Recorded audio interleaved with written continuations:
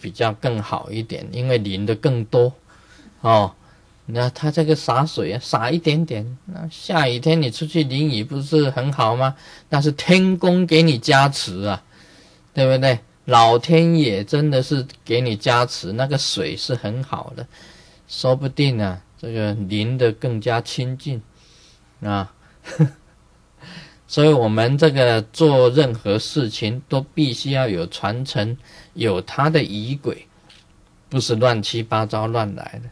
假如乱七八糟乱来的话，你说那个消防局的那个消防员都可以给人家做灌顶了，对不对？他给屋顶做灌顶，那个火在烧啊，他天天去给他灌顶啊，那这样子，消防员就拿起水龙头呼。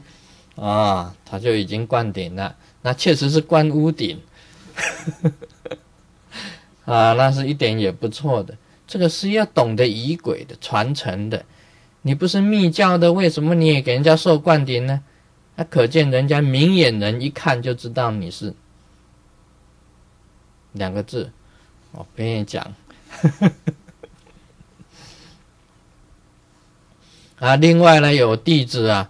一看到师尊受这个十六世大宝法王的这个五佛岩顶冠，啊，五佛岩顶的这个冠顶，啊，最近也有弟子写信了，请师尊给我摇灌顶五佛岩顶冠。哦，五佛岩顶冠是最高的冠顶呢，它是一块钱马币 啊，就要来个五佛岩顶冠。我也给你说，回信的时候已给你灌。这个是我不对，你自己求灌顶也不对，我也不对。你知道五佛岩顶冠是所有灌顶当中的最高灌顶呢？啊，很多金刚上师还没有受过五佛岩顶冠的。其实我看你这个弟子的这个名字啊，虽然你是皈依的弟子，但是你也是很陌生。怎么突然间你求五佛岩顶冠呢？来让我看看啊！至少你要亲自来来求。灌不灌还是另外一回事，你要懂得怎么样子修，它灌顶有一个层次的，不能越级。所以现在的很多的喇嘛跟佛佛也实在是越级灌顶。什么叫做越级灌顶呢？因为他现在只要有人供养，他就灌。现在活活跟喇嘛也是一样的，他传的这个法，哇，我传十轮金刚法，通通三千名，通全部通通灌，要管他有没有什么上师相应，有没有释迦行相相应，有没有本尊相应，现在都不管的。现在反正好，我传大法，哇，大家一听到是大法，不是小法，大法呀，大红包，小法小红包，释迦行分起来灌就四个红包。就是这样子的，所以现在是不行了。以前密教里面的祖师的规矩是一层一层来的，啊，你确实有了相应的层次，你再接受比较重要的灌顶。真正的大法，你修习到金刚法、十轮金刚法，那就是成佛了。啊，五佛岩顶观就成就五佛，你本身就是金刚萨埵。啊，那是很大的五佛岩顶冠呢。这个中央毗卢遮那佛，顶上阿出佛，啊，这个这边呢不空成就佛，这边是宝生佛，后面是阿弥陀佛，要观想五佛住顶，给你做灌顶的。那么五佛就是啊，毗卢遮那，中央毗卢遮那。这个宝生不空成就阿弥陀佛阿出佛五佛都在你的顶上，给你做留住灌顶，这个很大最大的无上灌顶。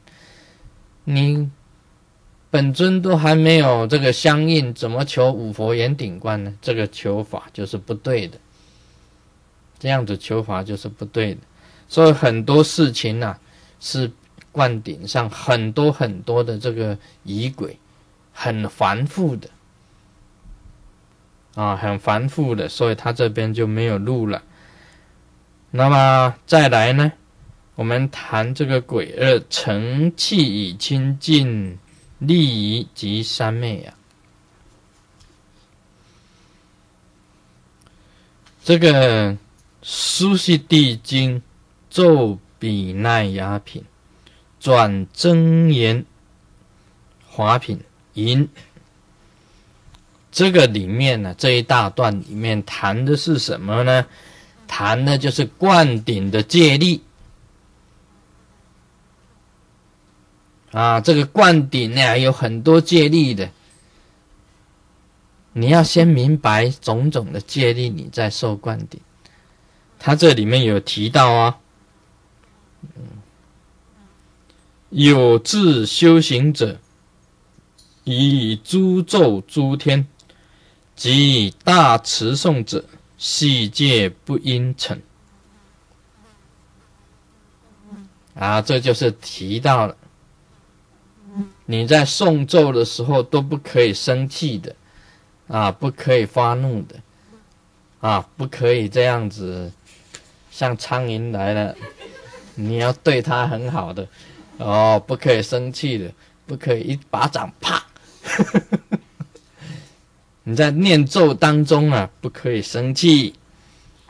他这里面谈到的全部都是借力的，另外有一条哦很重要的哦。你们不可以生气，我可以生气。开示密谈师，行为虽暴恶，然不应以或以意毁谤。你知道密谈的上司啊，在密谈的上司啊，他的行为虽然很暴恶啊，暴就是生气，很恶劣，骂人啊，打人。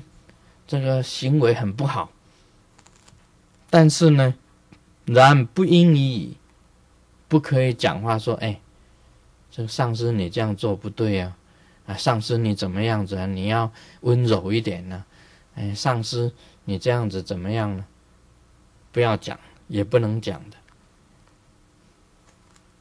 或以意诽谤，或用意念来诽谤，说这个上司恐怕是假的吧？”是假上师吧？是假的佛佛吗？用意，这个就是意念毁谤。然后谈到意念毁谤啊，你们会会认为说，意念怎么毁谤呢？是有啊，是意念是可以毁谤人的。啊，以前呢，我在登台登高座说法，啊，坐在高座上说法，那底下有一个弟子就在用意念毁谤，怎么意念毁谤？他说：“这个佛佛有什么了不起？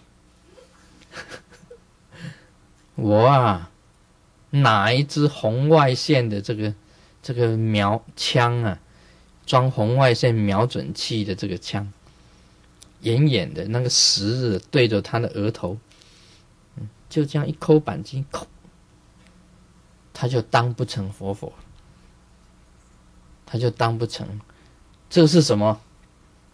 这个也就是用意念杀人。你并没有杀我，事实上你并没有做，但是你意念已经想到了，这个意念上已经犯了杀人罪了。